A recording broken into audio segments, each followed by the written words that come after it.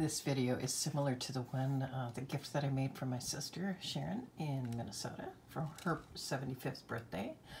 But um, this was the first one that I did, and this one is just a little bit longer. Um, and I have a black rug. So this is a placeholder for a placemat that I will quilt. And um, just thought I would show you some detail on this. I think it turned out so well. I found this original idea on um, uh, going down the YouTube rabbit hole.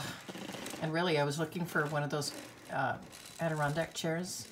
But then um, I saw somebody that uh, made a little arbor here, and I switched it up quite a bit. So, um, yeah, I, I made mine a little bit, um, in fact, a lot different than what I saw. So, here's my version, and I think it turned out really, really well.